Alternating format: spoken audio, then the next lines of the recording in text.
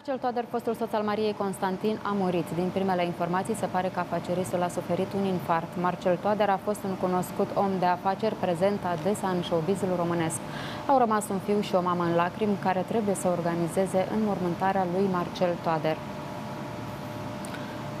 Alături de noi, chiar acum, este Mara Bănică. Mara, bună seara! Iată că încă o veste tristă din păcate. Bună seara, Mara! Da, bună seara! Încă o veste tristă, din păcate, și uh, aș vrea să te întreb uh, dacă ai aflat câteva detalii referitoare la uh, ce a făcut astăzi Marcel. Deci, în primul rând, Marcel Toader nu este fostul soț al Mariei Constantin. Marcel Toader este, este Marcel Toader. Asta, așa, ca idee, să mă scuzați. Uh, în al doilea rând, în plan personal, Marcel Toader este prietenul meu. Și în al treilea rând, eu l-am sunat acum 10 minute, eu nu sunt în România, sunt plecat din țară și vreau să le plec ceva.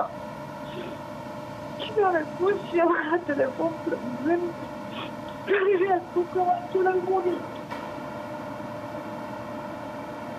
Și atâta tot.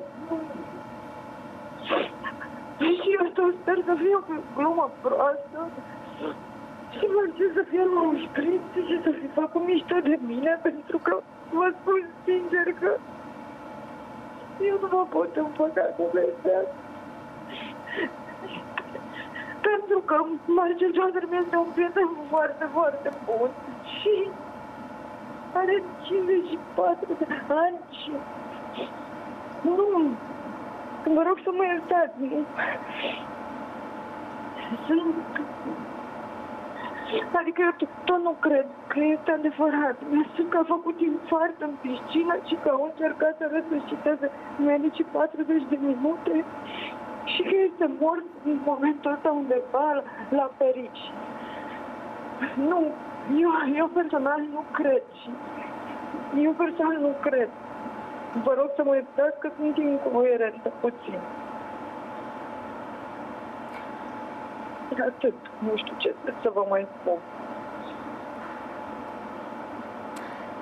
Mara, ai idee dacă a încercat cineva să vorbească cu mama lui nu știu, te rog, nu mă întreba așa ceva, că nu știu, nici nu mă pot gândi. Mama lui are 80 de ani, Marcel are un frate la Constanța. Eu n-aș vrea să afle de la televizor mama lui, nu vă dați seama că Adică, nu știu, nu știu nimic, pentru că Bogdan, prietenul cu care am vorbit la telefon, prietenul lui era incoerent. Plângea în focotă și în jur mai plângea o doamnă, nici nu știu cine e. Abia am reușit să înțeleg ceea ce s-a întâmplat. În secunda 2 am sunat-o pe Vica Plochina pentru că este prieten cu amândouă.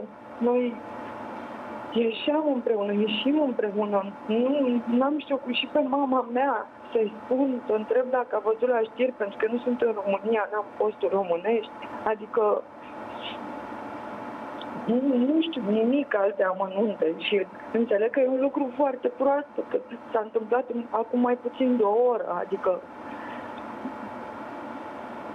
le-ai auzit Chiar vorbind despre probleme de sănătate în ultima perioadă? Da, el era bolnav de inimă, era, este bolnav de inimă. Tot timpul îi spuneam să mai lase șpițul și fumatul. El făcea o glumă de aia și în stilul lui. În fine, da, este cardiac. Marcel este cardiac. Asta nu e, nu ascundea lucrul ăsta. Dar, mă rog, la tratament, adică și cum e orice un bolnav de inimă care se tratează, poate duce boala. Nu, nu știu dacă, dacă e adevărat ceea ce s-a întâmplat, nu știu, căldură, habar n-am, nu-mi dau seama. Nu înțeleg că s-a întâmplat în piscină, ce ironie a sorții, că Marcel cu asta se ocupă, știi, el face piscină, adică mi se pare El da. în 2016 a mai ajuns la spital tot din cauza unui El a ajuns mai multe ori la spital și anul trecut a fost la spital. A fost o prietenă foarte bună de-a noastră, Lizeta Haralambie, și la internat, la Monța și a făcut toate analizele și uh, are, avea, el avea stenturi pe inimă, adică făcuse niște intervenții din astea, cumva la limita și trebuia să ducă o viață, mă rog, cumpătată, știți, fără alcool, tutun, nopți pierdute, ori Marcel, Marcel îi place viața, adică Marcel e petrecăreț, și la ziua mea pleca întotdeauna ultimul, adică eu, eu repet, știu și ponto și sper să nu fie adevărat. Eu sper că acest lucru să nu fie real. Eu simt o neputință îngrozitoare, pentru că sunt la 100 de kilometri de acasă și ce să-i seama, ce, ce ironia sorții, să dau telefon exact în momentul ăla.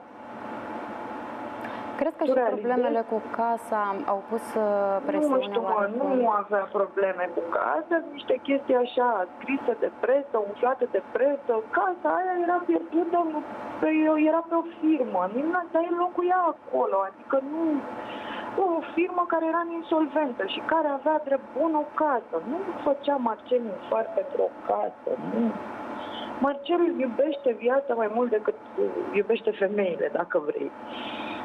Și vă rog, vă implor, termin, să terminăm cu asta, cu fostul soț al Mariei Constantin. Marcel Toader e Marcel Toader. Altele au fost fostele lui neveste. El e cine e. Cum era Marcel Toader ca om, Mara? Pentru că poate mulți oameni l-au judecat greșit un pontos și un, un om de onoare este, pentru că, repet, eu încă nu cred că e, e povestea asta 100% adevărată sau sper să fie o glumă proastă.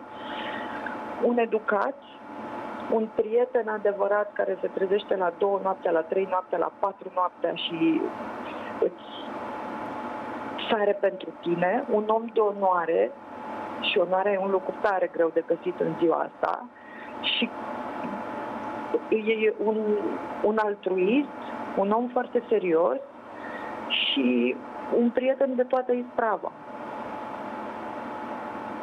Mi-a trimis o înregistrare audio, cred că acum două săptămâni, l-am rugat să-mi înregistreze ceva, nu contează, o chestie privată. Și mă, mă și uitam ce vorbisem cu el pe WhatsApp, că zic, mă, Marcele, n-ai înțeles, o vreau video. Și el îmi scrie, da, vocea, mașerii, rămâne, pune și tu o poză, că n-arată tocmai bine la față nu știu, pentru mine un prieten extraordinar. Eu n-am, n-am început prietenia cu Marcel uh, sub auspicii pozitive, dacă vrei. Noi ne-am certat pe la televizor, ne-am, în fine, la unul din divorțurile lui, până când am ajuns să-l cunosc și în momentul în care am ajuns să-l cunosc, cât de rar sunt oameni și prietenii care să poată să spună sărut mâna, care să știe că unei doamne nu-i sărut mâna niciodată în aer liber, care să, adică, mă, e, Marcel este un rafinat un, un om de la care eu am ce învăța. Ce să spun? Mare. Da, vă vi s-a confirmat, adică iartă-mă că te întreb la cald. Mie, da, am sunat, l-am sunat pe el și mi-a răspuns ceva, mi-a spus acum a murit. Vă vi s-a confirmat informația, adică